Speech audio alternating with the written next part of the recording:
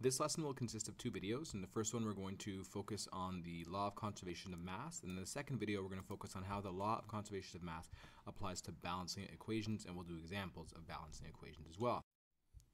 Uh, in order to understand this series of lessons, you need to make sure that you have reviewed the counting atoms video. Make sure you know how to count atoms when there are subscripts, when there are brackets, and also when there are coefficients or a combination of all of the above. If you do not review that video, you are going to have a hard time, a very difficult time balancing the equations. So please make sure you review it and do all the homework associated with counting atoms before you attempt this video here. So let's start off with the law of conservation of mass. This is a very important law in physics and in chemistry.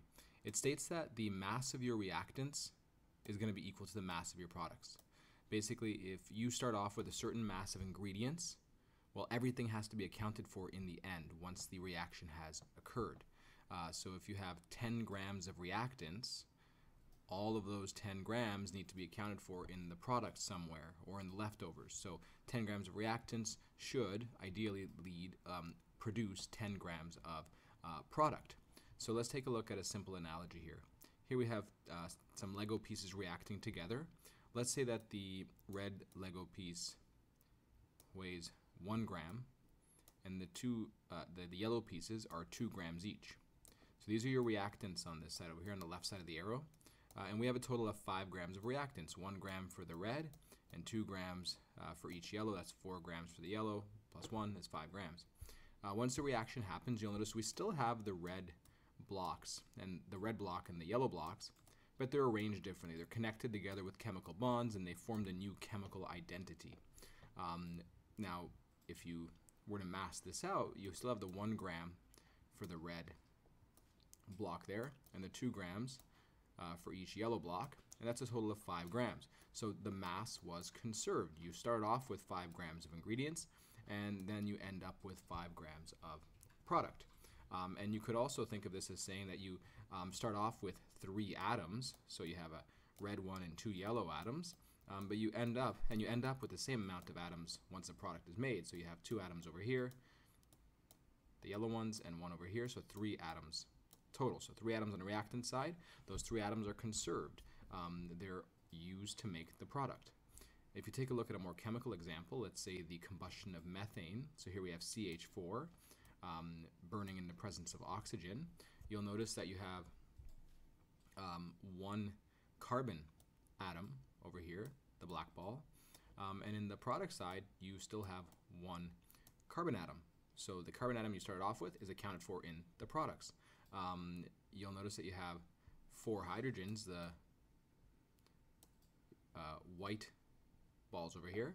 Um, you'll notice that you have four on the product side as well. So each of those hydrogens are accounted for. You didn't lose any atoms in the process. Um, and then if you count the oxygens, you have four oxygens on the reactant side, and they're all accounted for on the product side, just arranged in a different way. So you have the oxygens over here now, and in the two water molecules over here. So the law of conservation of mass can apply to the number of atoms, which also applies to the number to the amount of uh, mass there. So if we look at this example, let's say you were doing a reaction in the lab and you had 32 grams of sulfur reacting with 56 grams of iron, that's a total of 88 grams on the reactant side. Once the reaction is over, assuming um, no gases escaped, um, and you reweigh the test tube, you should have the same amount of uh, product. You should have 88 grams as well. It's kind of like if you were asking for change. If you have a $10 bill and you want uh, change for $10, you need to make sure that you get the equivalent amount. You get 10 loonies or 5 toonies that equals out to that $10 that you gave to the person you're getting change from. So that's in essence what the law of conservation of mass is. Um, and you need to be able to do some simple application problems relating to that. So we're going to do a few together. Let's start off with the first one up here. Um, in the following reaction, sodium nitride decomposes to form sodium and nitrogen gas. If 500 grams of sodium nitride decomposes to form 323 gra 323.2 grams of uh, nitrogen, how much Na is produced? Show all of your work. So typically in a reaction like this, what I do first is I write out the reaction. So I'll put my coefficients in as well. They're not really going to affect your calculation right now. but just write out a reaction so you can make a plan as in terms of what type of calculations you're going to do. So we have our sodium nitride decomposing to form some sodium and some nitrogen. So you're told that you have 500 grams of NaN3, so of sodium nitride. So I'm going to write that down over here, 500 grams, because it's some given information. Um, and you're told that you have 323.2 grams of nitrogen that formed. And the question wants you to figure out, well, how much sodium must have formed. And so what you need to do is use your knowledge of the law of conservation of mass to solve to solve for how much sodium must have formed. So you know that the product side has to equal to 500 grams because that's how many that's the mass of the reactants. The mass of reactants is equal to mass of products according to the law of conservation of mass. So you can create an equation. You can write x plus 3 23.2 grams. Make sure you keep your units in your calculations, otherwise you do lose marks. This counts as communication. Is equal to 500 grams.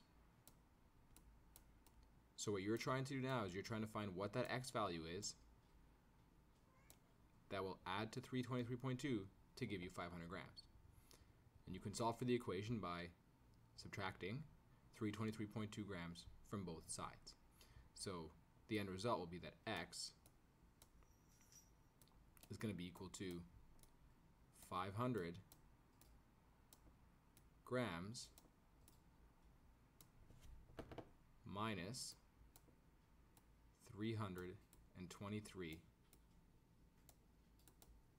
323.2 grams.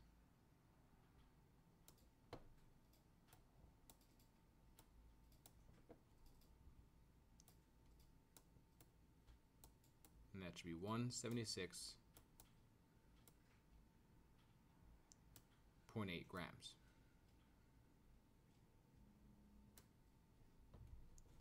So 176.8 grams of sodium was produced, 323.2 grams of uh, nitrogen was produced. If you add them together, you'll get back to 500, which is what the mass of your reactant um, was to begin with, and that follows the law of conservation of mass. So again, you start off by writing the equation, place your given information just below the reactants and the products, whatever you're looking for, write an X for it, um, and then make an equation so you can solve for x, and it usually involves you um, subtracting to find what that x value is. You do have to make sure you read the questions carefully because sometimes we might throw in a little um, trick in there, a distractor, where we give you a mass of the reactants and products with beakers, and you have to really take into account for that, and it requires a little bit of thinking. We're going to try one more together. A reaction between sodium hydroxide and hydrogen chloride gas produces sodium chloride and water a reaction of 22.85 grams of sodium hydroxide with 20.82 grams of hydrogen chloride gives off 10.29 grams of water. What mass of sodium chloride is formed in the reaction? And so I'll start you off with this. I won't solve it completely, but um, again, you start off by writing the reaction. Um, and unless I ask you to write a skeleton equation, you don't have to. You can simply write it in words, but I'm going to write it in uh, as a skeleton equation just because it's a little bit easier and saves some space in this case. And it allows you to practice writing formulas. So we have sodium hydroxide, uh, which we know is a base. And I'm going to put it as uh, aqueous over here. Um, and it's going to be reacting with some hydrogen chloride gas.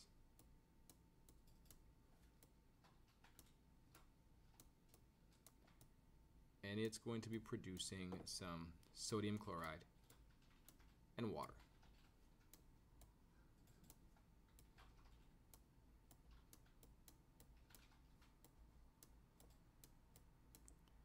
You can place all your given information under your reactants and products. So we have 22.85 grams of sodium hydroxide.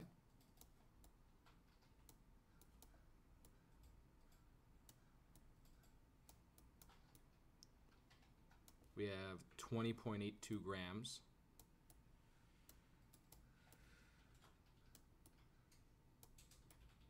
of hydrogen chloride. And we're told that um, this reaction produces 10.29 grams of water. And you need to figure out how much sodium chloride is produced. So as you can guess, your first step is to find what the total mass of the reactants was. So what you can do is you can add the masses provided to get the total mass. Once you do that, you know that that must be equal to the mass of the products. And so what you can do is you can set up an equation, just like we did in the first question, x plus 10.29 is equal to the total mass of the reactants, and you can solve for x. So in every problem that you get like this, you need to make sure you find the total mass on both sides, or on at least one side, and then you can use that number to figure out what the unknown value was on either the product side or the reactant side, depending on what they're asking for. So as long as you set up the reaction and write down the given information, you shouldn't have too much problems with figuring out what the unknown information was. There are a few more practice problems you should attempt. Um, make sure you read all the questions carefully. It will require to analyze the scenario just in case there's any distractors thrown in there. Um, you can do some more problems at the YouTube link over here. I will post answers to these to this problem set um, online so you can verify your answers. There'll be a solution associated with them so you can see if you're on the right track. Make sure again that you're showing all of your steps. Um, don't skip any because you will get marks for showing me your process. Um, and if you make a simple calculation error, well, then at least I can take into account the steps you did and you won't lose all of your marks. You won't get a zero for the problem. Um, I just want to try one more with you to make sure we truly understand this, and then uh, I want you to try the rest on your own. I won't give you the full answer again, I'll just start you off with the problem, and then you can try to finish it off on your own. So when heated calcium hydroxide and ammonium chloride react to produce ammonia gas, water vapor and solid calcium chloride um, are produced. Suppose 5 grams of calcium hydroxide and 10 grams of ammonium chloride are mixed in a test tube and heated until no more ammonia is given off. The remaining material in the test tube has a mass of 1.27 grams. What total mass of ammonia and water vapor was produced in the reaction? So start off by writing your reaction out. That'll make things a lot more clear for you. So we have calcium hydroxide. I'm not going to put states, I'm not going to put aqueous right now. I just want to focus on the reaction and the um, numbers given to us.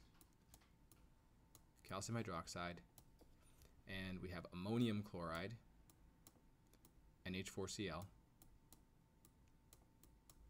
Remember, ammonium is a polyatomic ion. Uh, they're reacting to produce ammonia gas. And again, usually you would put the states if you know the states, but in this case, I'm just focusing on the information given in terms of the number. We're just doing a law of conservation of mass problem. Um, water vapor is produced, H2O, and some solid calcium chloride.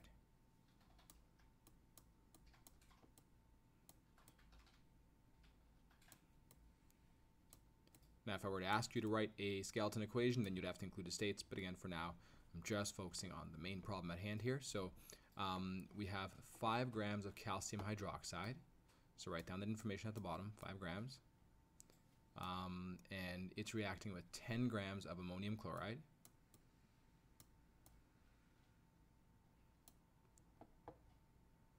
The remaining material in the test tube has a mass of 1.27 grams.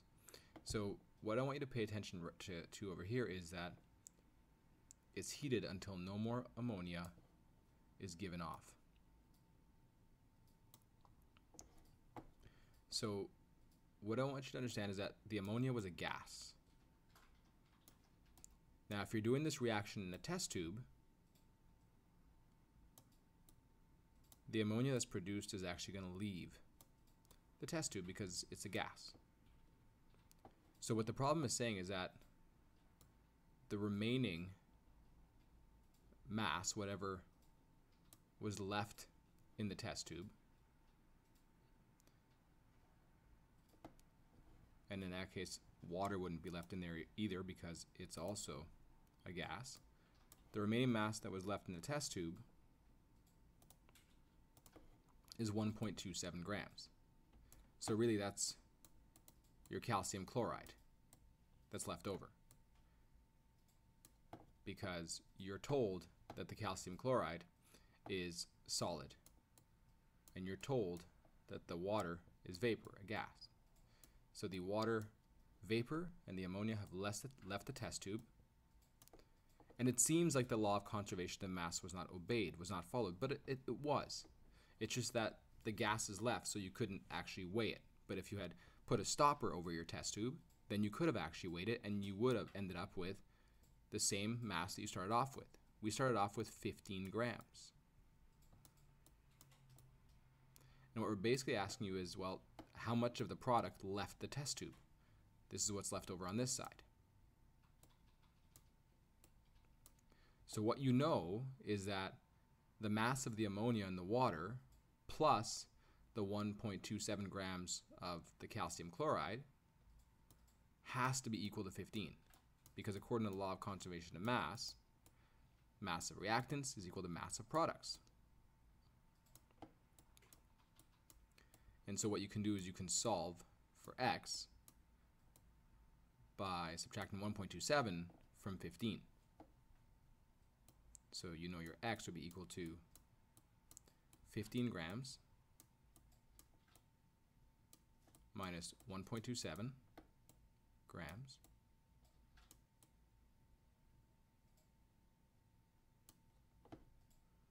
that would be 13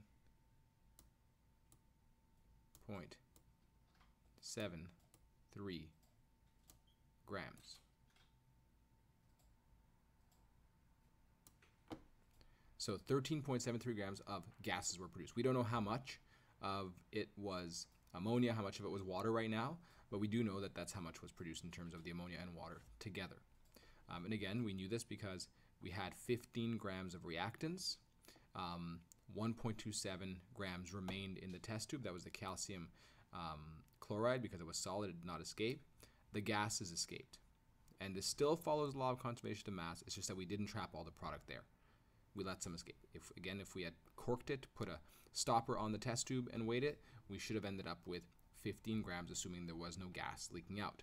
So that's something to pay attention to that we have when we do a reaction. If we want to truly weigh how much is produced, we need to make sure we don't let any escape. So if we have a gas leak, well, that's some of our products escaping. Okay, so you should be able to attempt this problem knowing this now, and the same thing with this problem over here. And please make sure you check your solutions and your understanding. So what we're going to do is we're going to try to transition into balancing equations. I'm just going to do a brief introduction of what balancing equations mean um, and how it relates to the law of conservation of mass. And then the second video, we're actually going to balance some equations together. So many students are bothered by this equation over here. The Na and the Cl2 reacting to form NaCl.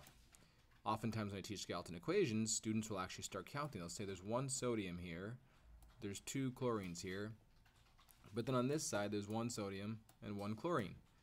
What happened to the chlorine? Where's that missing chlorine?